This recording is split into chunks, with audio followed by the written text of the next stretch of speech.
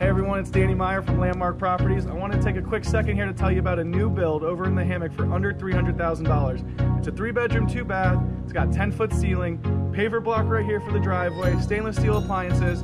Walk across the street to Bing's or walk down to the beach. It's a great house. If you want to take a look at it, feel free to message us below or give us a call. This property, again, it's under $300,000, so it's probably not going to last.